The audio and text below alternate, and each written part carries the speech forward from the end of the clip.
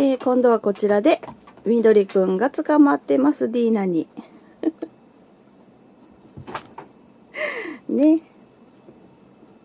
まあ、ワンちゃんのようにね、お腹を見せてるからといって、こうさーんっていうポーズではないです、猫ちゃんの場合は。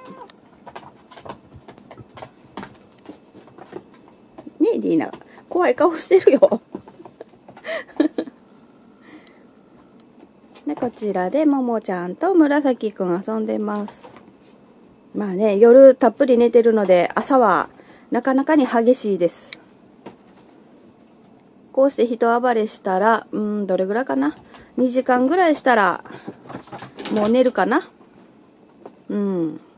ちょっとね、ずっと遊んでたらまたあの体力も消耗しちゃうので、えー、2時間ぐらいしたらまたケージに入れて、ちょっとこの時期は寝てもらうようにしてます。もっとね、大きくなったら9月9日生まれの子とか、26日生まれの子だったらもう朝から晩まで出してますね。